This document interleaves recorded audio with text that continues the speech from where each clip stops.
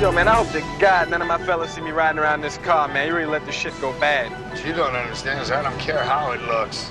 You ain't got no class, Jack. Class isn't something you buy. Look at you. You got a $500 suit on. You're still a lowlife. Yeah, but I look good. Because there's some fine fat mother. I've seen some. What's that chick? India Love. She got some fat fucking sisters, and her sisters are fine to me. They're very cute for some big overweight ass girls. So there's some fat motherfuckers who can get it. Yeah, I got a gut. There's some good pussy under this gut. Well, let's not, I'm not shitting on, on the fat girls. There's some fat motherfuckers that I'll take to the prom if I was in high school. That's right. She got an anklet on and an anklet holding on for dear life. Like, ah!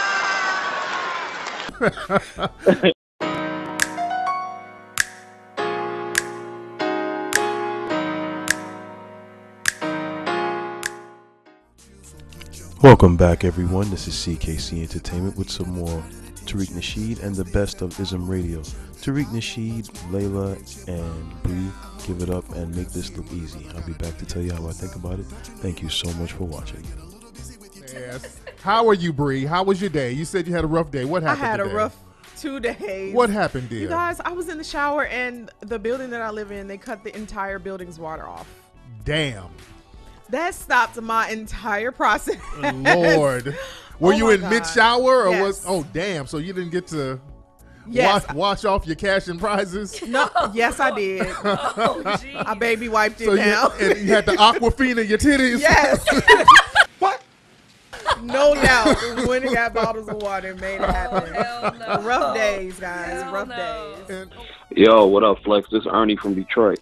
Ernie from Detroit. How you doing? I ain't met a nigga named Ernie in a long fucking time. Nigga, you old school. You, you must be a junior. Ernest Junior, right? Nah, nah, nope, just Ernest. I, I ain't been an Ernie since the 80s, nigga. Well, we're moving on now. You must have old parents. They had you in their 50s or some shit. Name of one motherfucker Ernest. It's the flag, but it's the original So, how do you guys feel about Ray Lewis kneeling? Oh my God. Lord. Tariq, Tariq, You said- They called him. They Wait, called him. They called him an opportunist. opportunist. There's a lot of he's an opportunist. There's a lot of opportunist. I said that he dropped a butter biscuit on the ground. That's what he was kneeling for. Right, nigga. On the rock, it's red. red. Ah! Ah! What are you doing, nigga? Stand up! I fell out laughing on the floor. and then needed help getting Yes. down and getting up with your old ass. Yes, and that's the thing. We got to make these coons bow down too. That's why we got to be on code to the point where the coons don't have a safe space no more. And I love that the coons are getting on board, but don't don't. they are opportunists. These coons are looking to get back into the good graces. Yeah, I'm like, they of the getting on slave. board before yeah. another reason. Yeah, so let's not.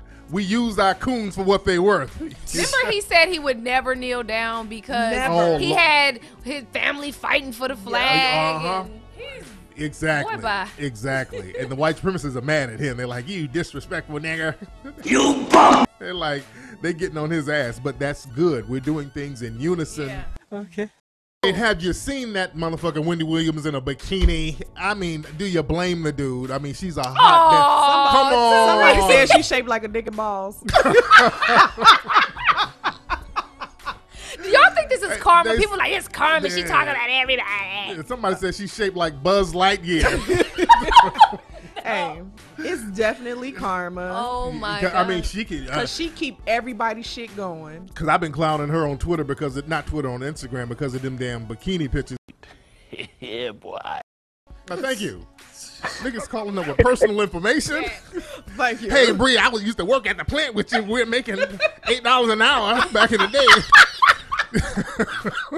Putting your business. I know. he God did put me damn. on. He put me on Don't put blast. people business out there. It's all good. I I sold money you a bag of weed back in '97.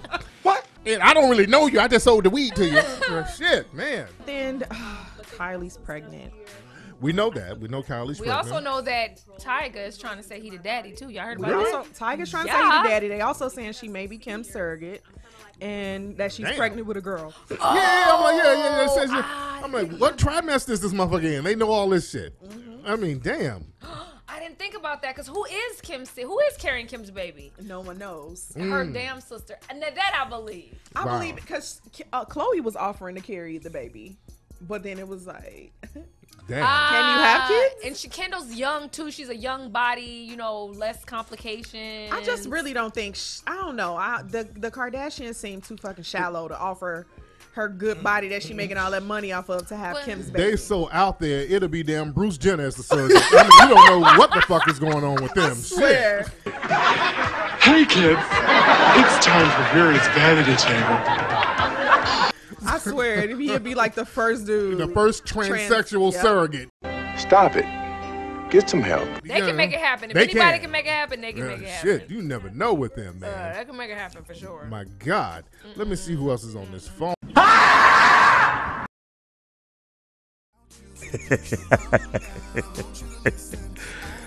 I I am very silly. Um, I think I'm a little silly, much more silly than uh, Tariq Nasheed. But um, I, I owe him a debt of gratitude for bringing me so much joy, and I hope I brought you some. Thank you for watching. You want some of this so you can live it up, vida loca. I wanna hear you.